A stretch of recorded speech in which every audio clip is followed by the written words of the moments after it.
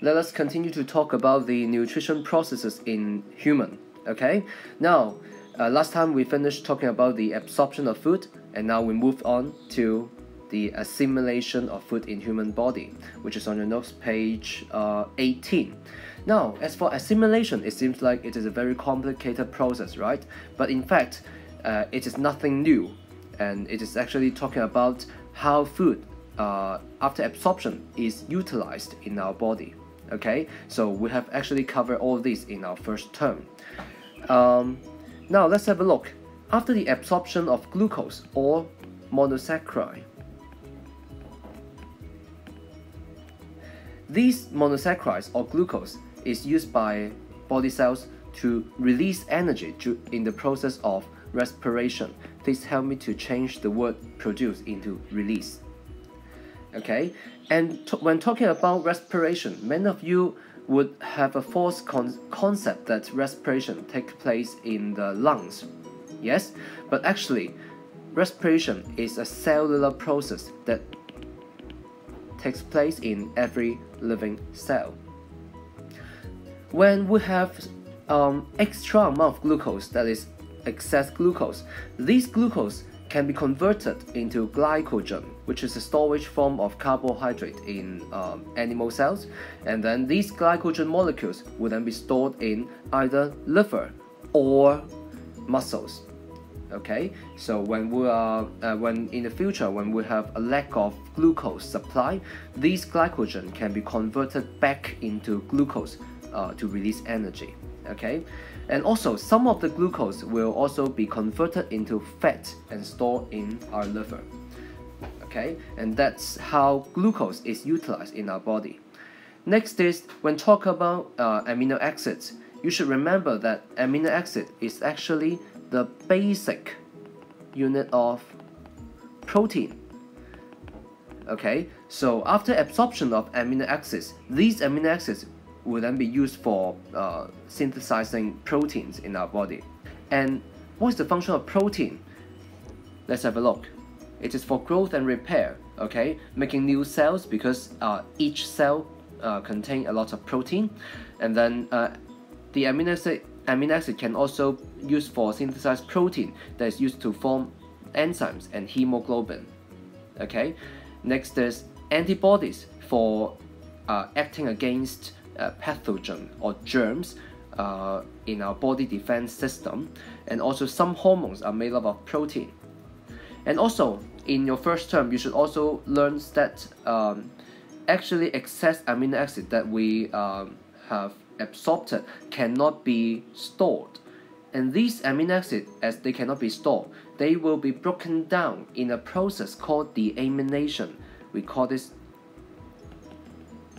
to on okay, in the liver.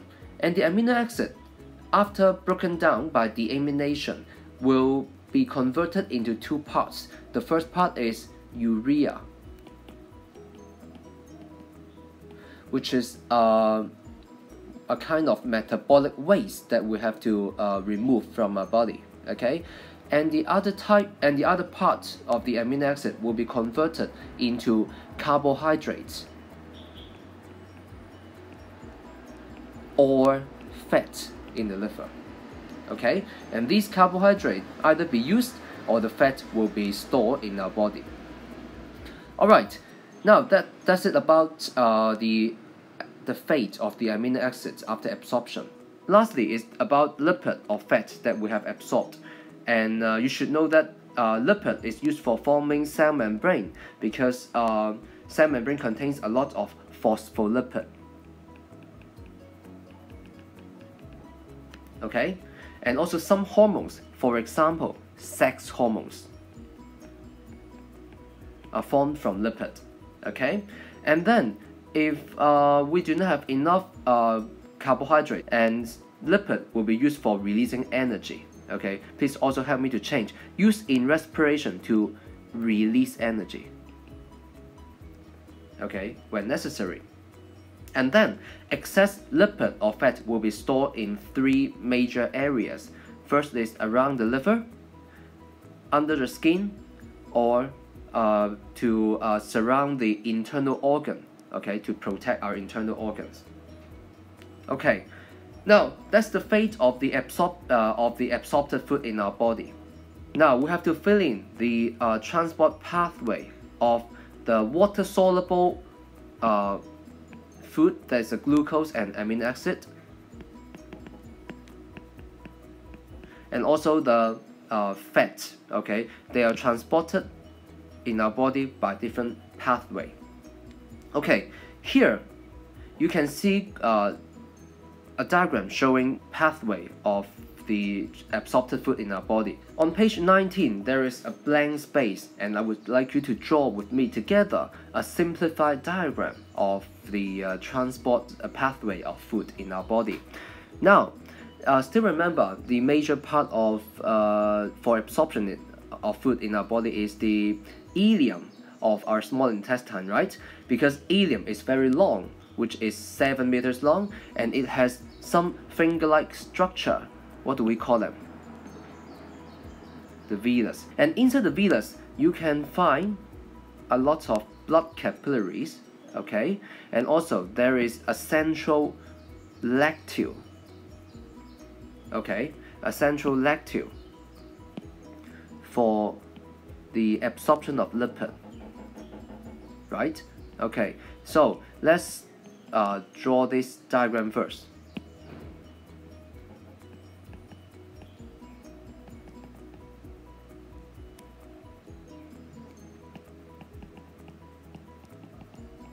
Okay, this is a, a one villus uh, found in the small intestine for absorption of digested food.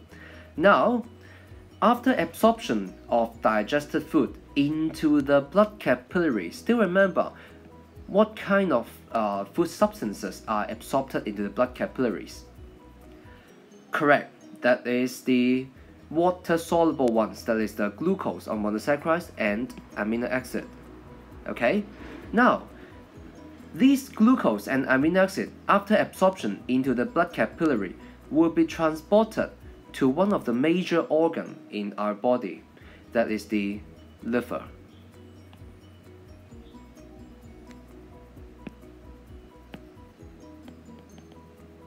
Okay, and through one blood vessel, which is known as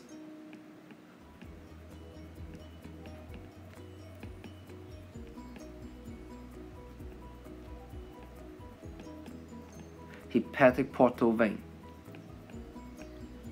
And then inside the liver, uh, the liver would uh, utilize some of the absorbed food and if you have too much glucose, uh, the liver will convert the excess glucose into glycogen, right? If you have too much amino acid, the liver would uh, deaminate the excess amino acids, okay? So after some sort of treatment of the absorbed food in the liver, and then blood carrying the absorbed food would leave the liver through another blood vessel, which is known as hepatic vein. The absorbed food will then be carried along the hepatic vein and eventually enter the heart. Okay? The name of the blood vessel that carry blood to the heart is the vena cava. Then, the blood carrying the absorbed food will then be pumped to the lungs.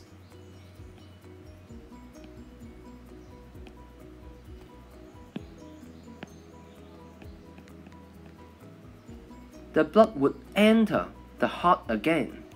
And then the heart would pump the blood to all parts of the body.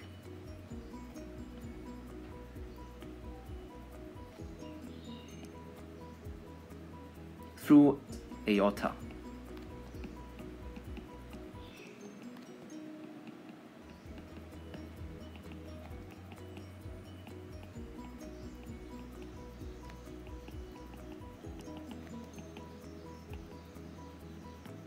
Fat and fat-soluble uh, vitamins are absorbed into the lacteal, alright? It will be transported in the lymphatic system, okay?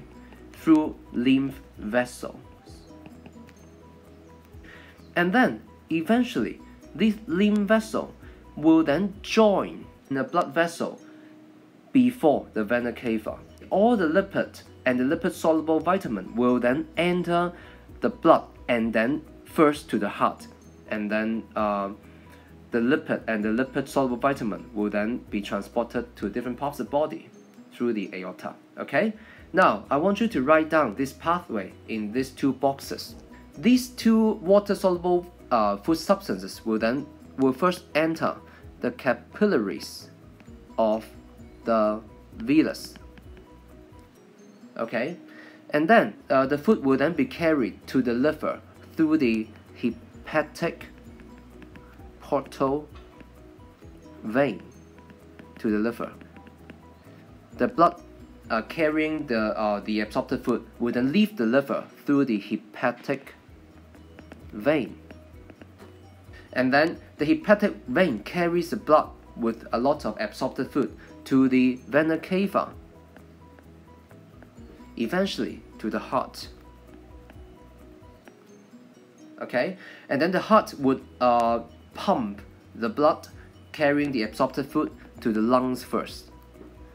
And then the, uh, the blood would enter the heart again and then be pumped again out through the aorta and then carrying this blood to all parts of the body.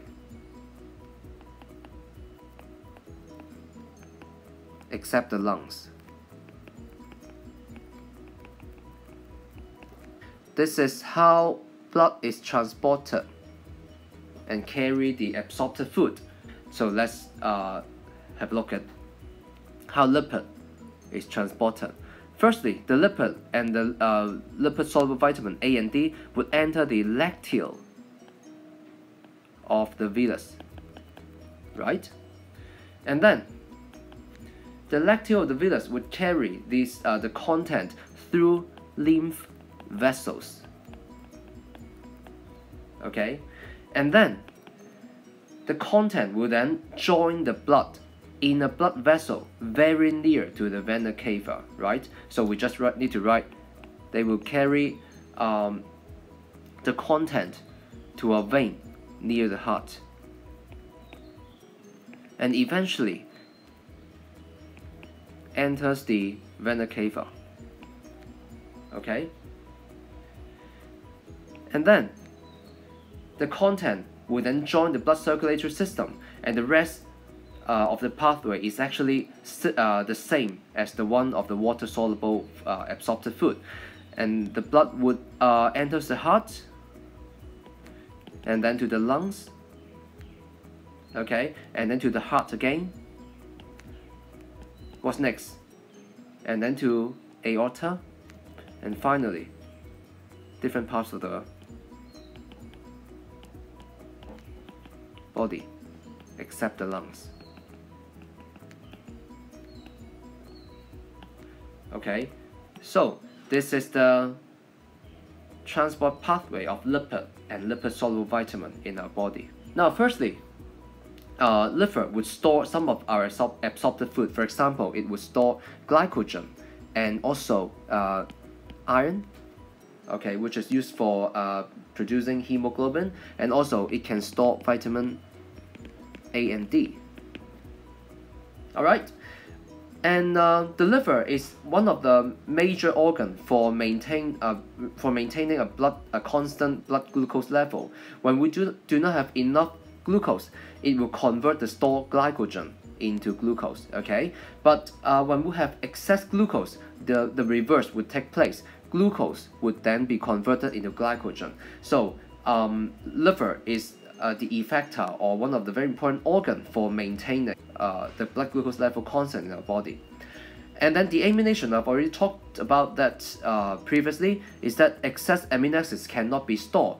Rather, it is deaminated. Okay, the amino groups of the amino acid are converted into urea for excretion. Okay, uh, while the, the remaining parts will be converted into carbohydrates or fat.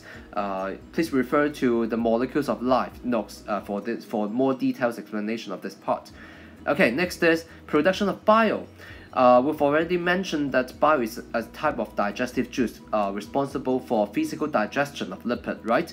And uh, production of bile is actually um, in the liver, okay? And, and the bile is temporarily stored in the gallbladder, okay? I'm not going to talk uh, too much about this because I've already mentioned this in, uh, in, in the previous section. Finally, the liver can help us to detoxify some toxic substances such as alcohol and drugs, okay, into harmless substances. Alright, so all these are the functions of the liver in relation to food assimilation. Okay, try to recite this uh, five points.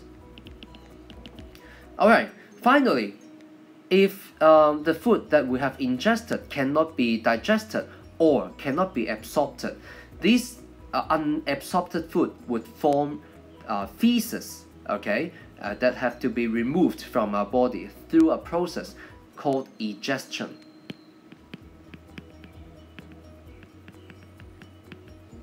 Okay, now I have to um, stress that egestion is different from excretion.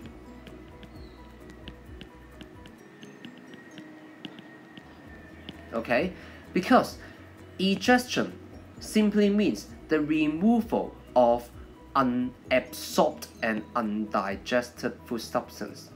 However, excretion means the removal of metabolic waste.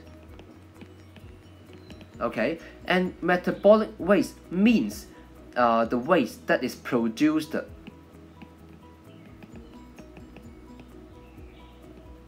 by cells. Okay, these are two different processes, don't mix them up. Okay, and these are the substances that are found that can be found in feces. Rectum the very last part of the alimentary canal is for temporary storage and for uh, muscle contraction that can use to expel uh, the feces out of the body. Okay, and the anus is the uh, opening by which the feces are removed. So that's uh, the end of the whole nutrition in human part 2. And if you have any question, feel free to join the uh, Q&A session to be held this Saturday or you can simply message me through whatever means if you have any questions. Okay? Alright, that's it for today. Bye bye.